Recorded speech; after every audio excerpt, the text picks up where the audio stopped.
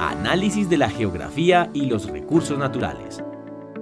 La historia de los pueblos es inseparable del territorio que ocupa, al igual que su economía.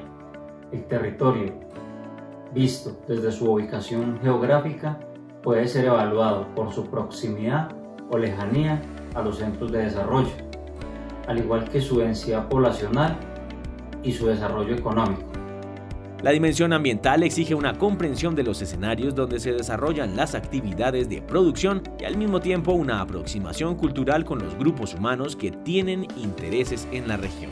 Es por esto que la dimensión ambiental está relacionada con los intereses relativos al uso del suelo y a los recursos hídricos y a la apropiación de recursos naturales renovables y no renovables, así como su impacto en la fauna y la flora.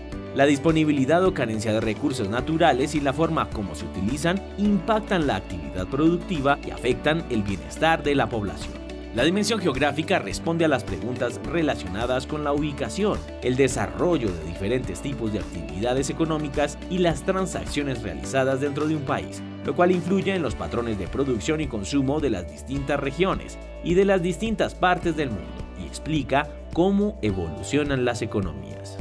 Colombia está localizada al noroccidente de América del Sur, sobre la línea ecuatorial, y limita por el oriente con Venezuela y Brasil, por el sur con Perú y Ecuador, y por el occidente con Panamá. Además, en el Mar Caribe el país tiene límites con Costa Rica, Nicaragua, Honduras, Jamaica, República Dominicana y Haití. Al ingresar al país, la cordillera de los Andes da origen a tres cordilleras, la occidental, la central y la oriental, que cuentan con características totalmente diferentes tanto en su clima como en su topografía. Por estas características, Colombia cuenta con diferentes climas, el cálido, el templado, el frío y el páramo. Colombia se divide en 32 departamentos y cada uno de ellos tiene su propia capital. En todas ellas se clasifican diferentes regiones económicas, dando como resultado unas zonas más prósperas que otras, entre las que se destacan ciudades como Bogotá, Medellín, Cali y Barranquilla, donde se concentran los mayores índices de desarrollo económico. Asimismo, se pueden encontrar zonas donde el desarrollo ha sido mucho más lento, como los departamentos de Chocó y Caquetá, regiones donde la infraestructura económica está menos desarrollada y existe una menor calidad de vida para sus habitantes.